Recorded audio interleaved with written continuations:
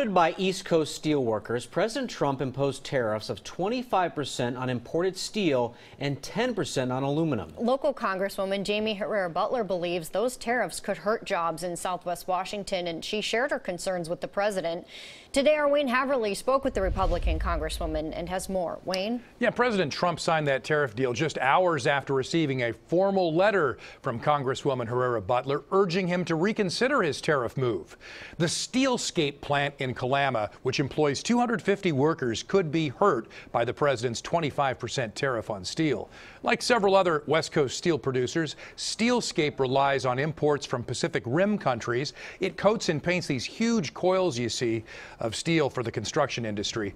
Congresswoman Herrera Beutler told the president the transportation costs of steel shipped by rail from the Midwest would cost Steelscape $65 more per ton than steel arriving by ship from Australia and Japan.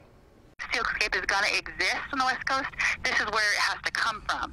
And in my mind, we want those jobs here. It's not that it's taking business away from steel producers on the East Coast. It just simply wouldn't have happened. Well, Steelscape supplies its construction products to thousands of businesses. Officials at Steelscape did not return calls today, but last week a company official told the Daily News the best case scenario for Steelscape is to receive some kind of an exemption out of all this. The only exemptions the president talked about today was for Canada and Mexico. However, he did hint that he would leave the door open for more negotiations on this issue. That metal tariff takes effect in 15 days. Back to you.